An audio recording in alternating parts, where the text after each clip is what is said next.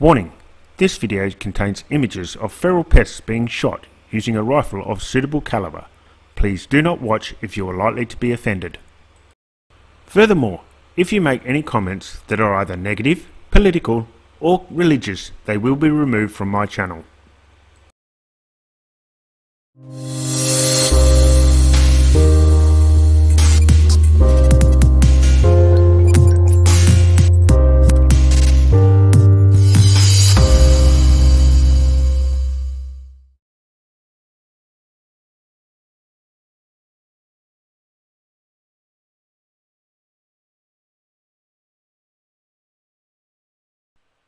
Thanks for joining us again.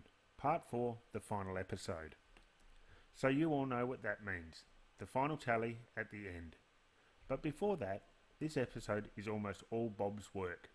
I finally got him to record more video with the NiteSite, only for him to replace it with a brand new ATN 4K Pro before the next outing. Once again, the equipment I'm using in this episode is the FX Crown chambered in .22 with the ATN 4K Pro scope and the ATN ABL 1000 ballistic laser. I'm running the JSB Hades at 15.89 grains and shooting off the BOG Death Grip tripod. And Bob's equipment is the same as last episode. The FX Royale also in .22 with the Optician Viper 4x16 scope, the NiteSite Wolf night vision attachment. He's also using the JSB Hades at the 15.89 grains and shooting off the Primos trigger sticks. But as I said, that scope is about to change.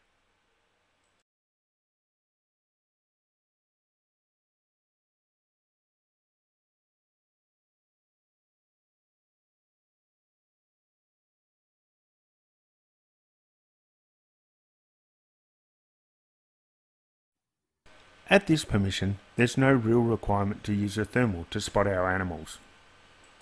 But every now and then, I like to get the Axion XM30 from Pulsar out just to have a look around and see what you can see through the thermal.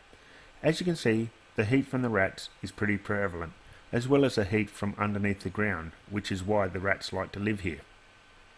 Anyway, we'll get back to the shooting and I'll let Bob have a go.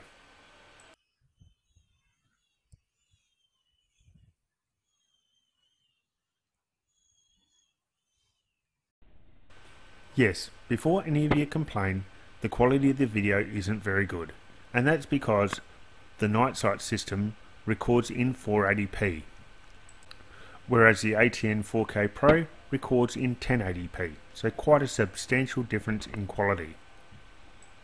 It is an entry-level NiteSite system. It has some advantages over the ATN 4K Pro, and it has some major disadvantages, but I'm not going to get into that. Let's just sit back and enjoy the shoot.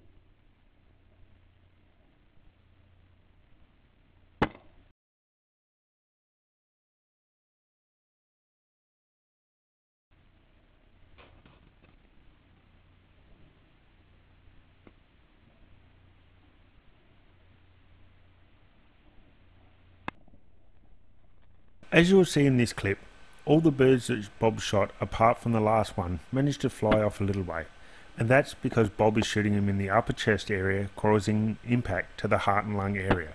So the bird has some energy to fly off a little way. They go to ground and we collect them and dispose of them accordingly.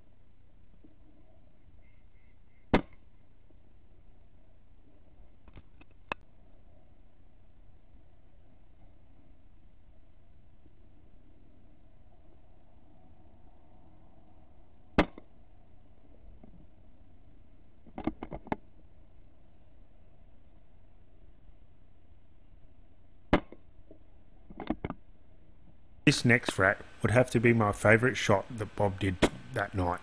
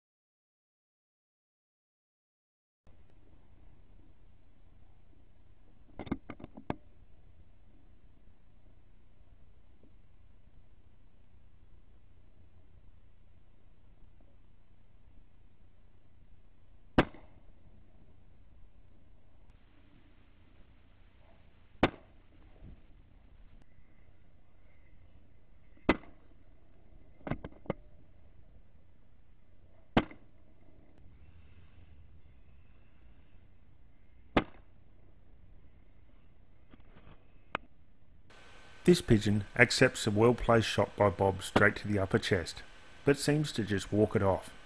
Bob follows it up with a second shot and takes the bird down.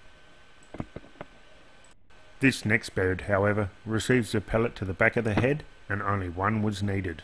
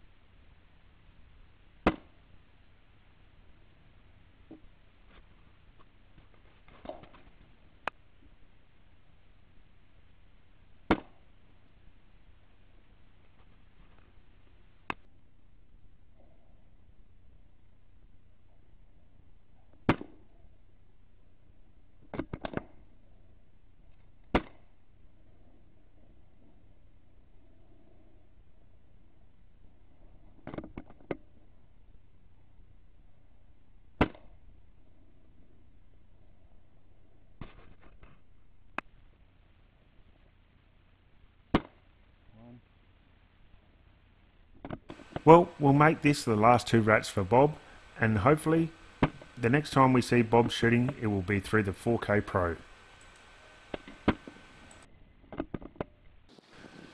So we'll finish off with this one rat here, and then a group of five rats for me to end off the night shoot.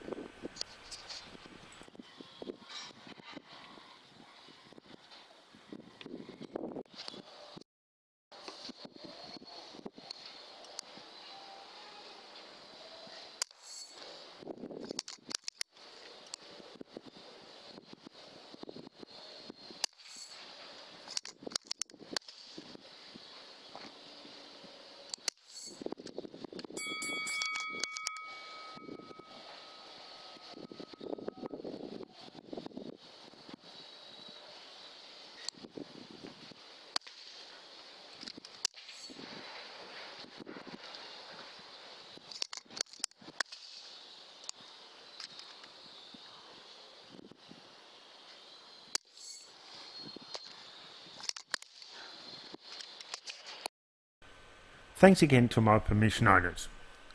Well, that's the end of this series. I hope you've enjoyed it and that you've stayed around for the end tally, which is 45 pigeons and 252 rats, which is our all-time record so far. Just on a small side note, I'd like to thank all of my subscribers that watch my channel and that contribute the money that I earn through your subscription and viewing of my videos has gone towards purchasing an ABL 1000 for Bob's new scope, so thank you very much for your assistance. Thanks again for watching. If you like my videos, please hit the like and subscribe button To get notifications of new videos, click on the bell. And until next time, please stay safe and stick to social distancing.